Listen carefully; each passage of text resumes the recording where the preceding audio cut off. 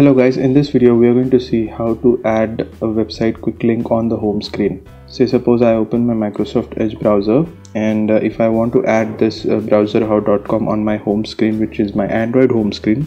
So what I can do is I can quickly tap on these three dots and if I go down I have this option called as add to screen if I tap on it it will give me the name and the URL I mean if you want to customize the name you can do it or else you can just go quickly tap on add so there are two options. One you can add automatically and it will place anywhere on the screen or you can just tap and drag this icon anywhere on the screen. Say suppose I just lift it here and here you can see it's now created an icon now when I tap on this icon, it will automatically open the browser how on the Microsoft Edge. So this feature is also available on the Chrome browser. In case if you want to see that, I will leave the link in the description below. I hope this helps. Let me know if you guys have any questions. Thanks guys. Cheers. Have a great day.